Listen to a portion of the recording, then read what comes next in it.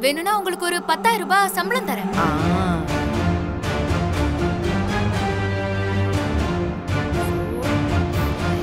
கொஞ்சம் காமெடி பண்ணா நான் வில்லைங்கிறதே நீ மறந்துட்டியல சரி. ம். அ, மாமா. இந்தாங்க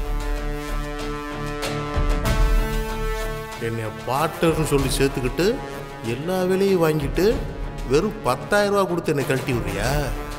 இரு. உனக்கு எப்படி நான் ஆப்பு வைக்கிறேங்கிறத மட்டும் பாரு.